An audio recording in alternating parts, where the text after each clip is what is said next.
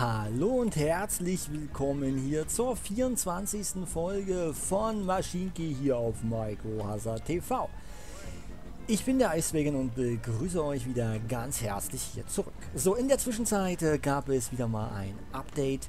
Ähm, vielleicht gab es wahrscheinlich bis zu dem Punkt, wo das Video kommt, wahrscheinlich noch ein paar weitere Updates, aber zumindest äh, von jetzt an bis, äh, also von der letzten Aufnahme an bis äh, jetzt zumindest gab es ein Update und hinzugekommen sind zum Beispiel unter anderem, können wir, kann ich euch sofort mal zeigen, nämlich ein paar neue Waggons. Also das heißt ein paar, eigentlich meine ich nur einen, aber selbst der eine ist doch schon mal was. Es gibt nämlich einen neuen Eisenwaggon, jetzt gibt es nicht nur den Ignas Schustel, sondern auch den Schustel 2 und der kann nicht nur 4 Tonnen, sondern 7 Tonnen laden und ähm, ja, kann also ein bisschen mehr transportieren und ja, im Endeffekt lohnt sich denke ich. Und wenn wir quasi bräuchten fünf davon, um 20 Tonnen zu transportieren, oder wir nehmen drei davon und können 21 Tonnen transportieren, macht natürlich einen Unterschied. Brauchen wir allerdings Kohle für, um das zu kaufen. So, hier haben wir jetzt, was haben wir denn hier? Was sind denn das für welche? Das Kohlewagen? Ja, es sind Kohlewagen. Wenn ich das richtig sehe, ist das ein Kohlezug. Genau, der Kohlezug von für die Gießerei Witten 2. So, den wollten wir modernisieren, da sollten neue Waggons ran und dann nehmen wir die hier nämlich, die Fax-Waggons und nehmen wir zwei oder drei. Was fahren denn hier für welche? Die fahren mit drei durch die Gegend. Nehmen wir auch drei, egal, wir haben es ja und äh, die Route bleibt dieselbe. Sein nächstes Ziel wäre allerdings die Gießerei. Da kommt er besser hin und da lassen wir ihn fahren. So, er verschwunden und dann verkaufen wir die restlichen Waggons, die hier übrig sind, wieder. Oh, da kriegen wir Holzbretter für sogar, weil die uns sogar Holz gekostet haben. Und demzufolge haben wir jetzt genug Holz, um uns hier weiter einzukaufen. Und tada! Wir sind im Dieselzeitalter. Yeah! So. Errungenschaft freigeschaltet, drittes Zeitalter. Wir sind jetzt offiziell im Dieselzeitalter haben wir uns jetzt das erkauft. Juhu! So, ich freue mich. Ähm, allerdings haben wir gesehen, alles noch auf Englisch, aber es ist mir jetzt sowas von Schnuppe, ob das Englisch ist. Ja, da komme ich mit klar. So, ihr seht hier Early Diesel Age. Wir machen mal Pause, dann gucken wir uns das mal in Ruhe an. So, wow. This time I have really amazing news. Sources at the Ministry of Industry suggest or suggest that recently in uh, recently in this region prospectors found small deposits of black gold, also oil. Ja, wir haben Öl gefunden. The government naturally saw the potential of this, and the ministry is already using subsidies uh, subsidies uh, to attract investors to drill. So, yeah, uh, there is almost certainly more oil out there, and if we act quickly, we could make a solid profit from this. From this oil discovery will come industries for fuel and chemicals, so we have a great opportunity uh, to improve our locomotive fleet with diesel powered engines. It will need us to invest, but the rewards will be great. So, um ins nächste Jahr zu kommen, müssten wir das investieren wieder, um das nächste dann wiederum zu kommen. Ähm, also in diese, es ist das frühe Dieselzeitalter, um dann in das richtige Dieselzeitalter zu kommen, müssten wir das investieren. Ähm, das wären wir 1953 allerdings sowieso. Der Punkt ist nur 1953, das nächste Zeitalter gibt es natürlich wiederum noch nicht. Somit macht es wenig Sinn, da zu investieren aktuell. Ähm, wir werden natürlich da ein bisschen reinarbeiten jetzt noch, aber die Zeit nehmen wir uns. So, wir haben hier eine Aufgabe. Your, your Wing Oil. Ja, Your Wing Oil oder Öl. Ja, ja. So, was soll man machen? Requirement, transportiere 200 Öl, also Quad Oil, to any refinery. Dafür kriegen wir 200 davon, also 200 Geld-Tokens, also 200 Geld. Machen wir natürlich. Pinnen wir mal an. Das da muss er nicht anpinnen. Das, das ist fertig. Die Kirchenruine ist fertig. Juhu. So, können wir abschließen. Sehr schön. Dann können wir auch den Zug jetzt reinholen. Wo ist denn der? Der hier auf dem Rückweg jetzt sein müsste. Mit dem Eisen. Wo ist er? Jena. Hier ist Jena. So. Wo ist der Zug? Wo bist du? Da ist er. Eisen von Witten nach Kirche Jena. Du fährst bitte ins Depot und hat schon noch einen ganzen Haufen Eisen dabei, aber egal, wir jagen ihn einfach ins Depot und dann ist gut. Wie sieht es denn hier mit der Produktion von Holz aus? Naja, naja, naja. So, hier haben wir eine Raffinerie. Raffinerie bei Mörs. Guckt mal, hier steht eine. Die gucken wir uns mal an. Guckt euch das an. Sieht die nicht schnieke aus? Kann ich mal kurz laufen lassen. Die Flamme oben natürlich auch sich schön brennen, ja. Guckt mal. Eine schicke, schicke Raffinerie. Schick, schick. So, was haben wir denn noch? Wir wissen aber mehr, es sind noch mehr dazugekommen. Nicht nur die Raffinerie, sondern auch Öl, logischerweise. Was haben wir hier? Noch eine Raffinerie. Die braucht zweimal Oil, um einmal Öl herzustellen. Also das ist Crude Oil, also Rohöl nehme ich mal stark an und da ist dann so, dann kann man hier das noch, ach da werden noch andere Sachen produziert. Guck mal, so eine Kisten hier. Werden Kisten produziert und Geld. So, Propane plant. This plant produces canisters of propane, which can be delivered directly to towns for domestic use. Ah, okay, also es ist dann so eine Art Waren, die wir denn hier in die Städte transportieren können. Werden allerdings noch nicht angenommen, weil die keinen Shop haben. Ich hoffe, die kriegen irgendwann auch nochmal einen Shop automatisch. Weil verbessern kann ich die Stadt jetzt nicht mit dem Shop. Hier, bin ich mal gespannt, weil die jetzt ein neues Spiel starten müssen, um diese Shops zu bekommen in der Stadt. Aber warten wir erstmal ab. Sind wir erstmal geduldig. Und wir haben natürlich demzufolge auch neue, äh, neue Loks bekommen. Wo kriegen wir denn Crude Oil her? Das ist erstmal die Frage. Wo kriegen wir das Öl her? Raffinerien habe ich. Was ist das hier? Factory. Okay, da können wir das Öl hinbringen. Da kriegen wir denn auch dieses Propan wieder. Oder halt so ein Tocken, so ein Öltocken auf jeden Fall schon mal. Bei einer Raffinerie kriegen wir keine, ne? Ne. Da kriegen wir diese Öltockens. Oder wir bringen Holz und Eisen hin, da kriegen wir auch irgendwas hier, Propan und ein Holztocken. Immerhin. Können wir Farbstoffe noch herstellen. Seht ihr, ein bisschen was übersetzt ist hier sogar schon. Ja, kriegen wir auch wieder. Fertilizer Plant. Okay, also Fertilizer sind der Dünger, ne? Okay, kriegen wir auch wieder. Tokens. Okay. So, aber wo kriegen wir denn das Öl überhaupt erstmal her? Ha! Das müssen wir nämlich erstmal jetzt finden. Das war irgendwo möglichst in Reichweite. Ach, hier ist ein Shop, guck mal. Hier ist ein Shop, ein Geschäft in Wilhelmshaven. Hier ist sogar eins schon entstanden.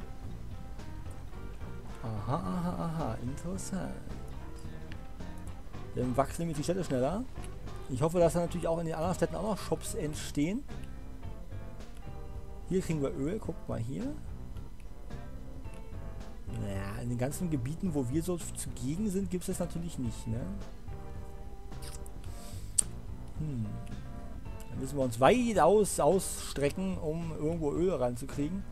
Hier, hier an dem Strang können wir das gut machen, weil hier ist eine Raffinerie, da ist Öl, da können wir Öl holen. So, Secondary Ölquelle und eine äh, Desalination Plant. Ähm, okay, Ah, in, hier gibt es auch schon einen Shop. Das ist schon mal sehr schön. In Hildesheim gibt es einen Shop. Sehr gut. Da können wir nach Hildesheim liefern. Ha! Kann Hildesheim noch weiter wachsen, seht ihr? Sehr gut. Gut.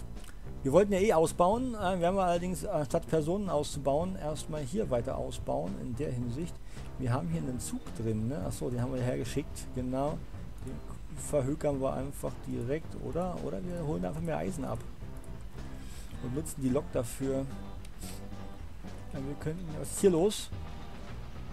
Die stauen sich zu. Warum? Weil sie sich gegenseitig im Weg stehen. Verstehe. Einen Moment. Hier gibt es ein gegenseitig im Weg Problem. Das behoben werden muss. So, wenn der jetzt da rausrückt, dann müsste er hier... Ja, ja. Oh, jetzt fährt der natürlich hinterher. Ja, wie, wie doof. Naja, gut. Okay, gut. Äh, die verkeilen sich hier nämlich. Da müssen wir Abhilfe schaffen. Wie machen wir das? Wir lassen ihn einfach mal fahren. Du, fahr. Du kriegst manuell grün. So, und du wartest mal bitte. Müssen wir mal hier mal kurz entzwicken. Ah, die Züge sind zu lang geworden. Die stehen jetzt schon gegenseitig im Weg hier. Ja, weil er da blockiert. Mit dem Hintern.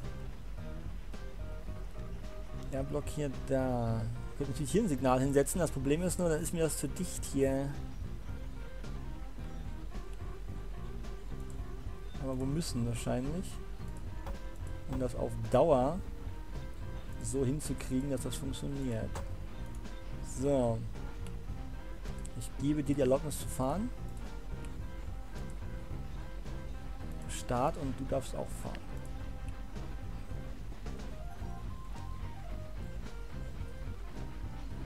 So, haben wir erstmal hier entzwickt. Und dann können wir die Wagen nämlich hier kürzer machen. Waggons für Eisen. So, Schussdill will ich haben. 1, 2, 3, 4. Ist das Ding 3,73 lang. Warte mal, 4 mal 8 sind, sind 32 und 5 mal 6 sind 30. Ist länger. Aber wir hatten ja 6 Wagen hier dran. Aber gut, 6 Wagen können 24 transportieren, aber hier können 4 Wagen 21 transportieren. Ja, gut, passt schon. So, Route wird allerdings angepasst. Ähm, die müssen wir hier mal rausnehmen. Gießerei, Witten und Wenden, das bleibt alles drin. Und dann kommt stattdessen nämlich hier das hier rein. Also das da. Und dann Position bis hinten fahren, wenden und einmal umbenennen. Eisenwitten nach Werkzeug. Werkzeug Hildes. Bestimmt schon die 3 oder so. So. Umbenennen, starten. Gießerei ist der nächste Punkt. Wir gucken uns die jetzt mal an, die neuen Waggons, aber natürlich in der schöneren Ansicht. So.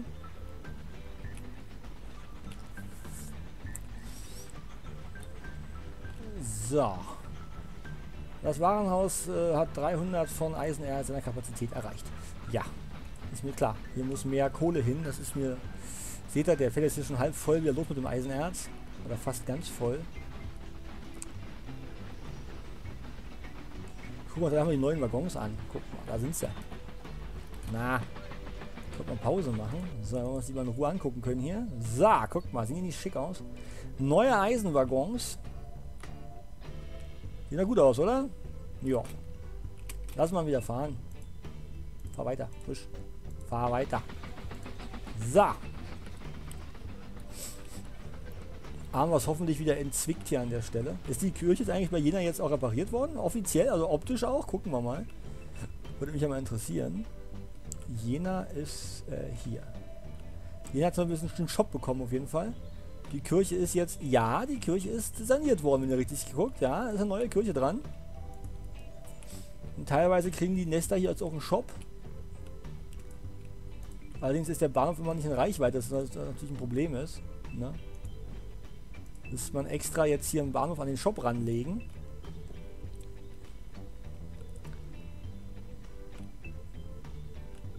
So, da ist Oil, da ist Raffinerie, da ist auch Öl, da ist Factory.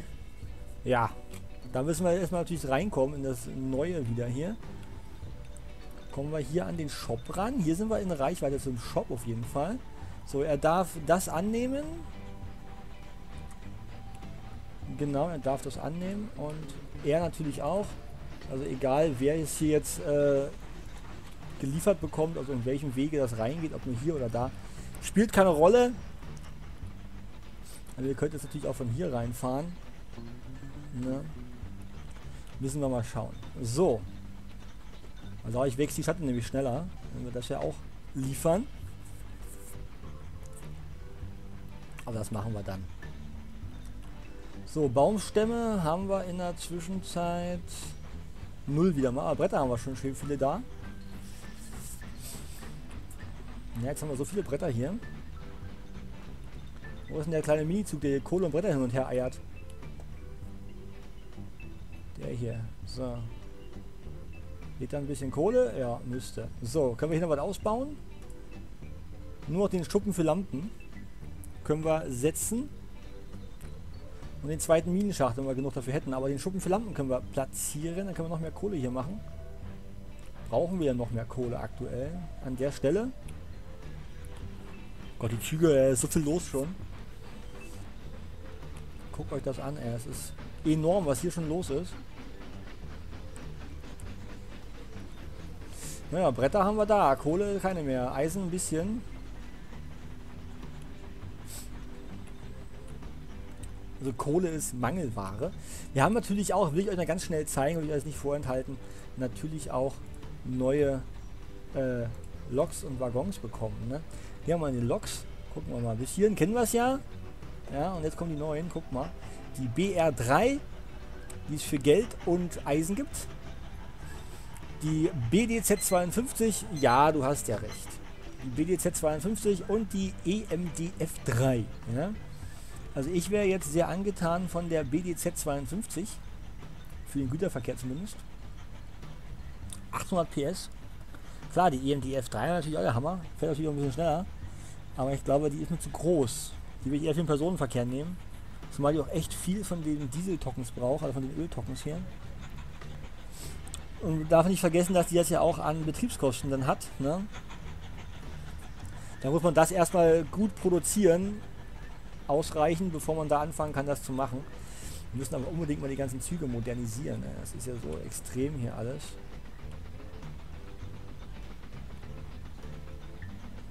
So, da ist ein Kohlezug. Hier ist der neue mit, mit Eisen beladen jetzt übrigens. Ja, guckt mal.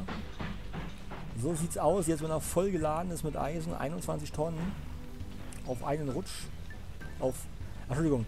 Entschuldigung, ich habe mich ja verrechnet, stimmt, das sind ja 28 Tonnen. Drei Waggons werden ja 21 Tonnen. Also kann man ja nicht beklagen, ne? Der Zug ist, warte mal, vergleichen wir mal den mit einem anderen Eisenzug. Wo ist denn der? Hier hinten fährt einer, wa? Irgendwo hier hinten ist da einer. Hier. Der hätte jetzt eine Länge von 4,05 und kann 24 Tonnen laden und der lädt jetzt 28 Tonnen und hat eine Länge von 3,73. Also, ne? Dahingehend ist er besser. Weil kürzer und kann mehr laden. Die anderen Züge müssen wir alle mal so echt stückchenweise jetzt wirklich mal verbessern. Ja, ist in der Zwischenzeit echt schon schlimm geworden, ne? Echt schlimm. Gut, wir sehen uns aber zur nächsten Folge wieder. Nächste Woche geht es weiter und dann werden wir hier mal ein bisschen endlich bauen, ne? dass wir hier Öl rankriegen. Und wir haben, dass ihr eingeschaltet habt und würde mich sehr freuen, wenn ihr natürlich wieder einschaltet. Verbleibe bis dahin und sage ciao, tschüss und bis zum nächsten Mal. Tschüss!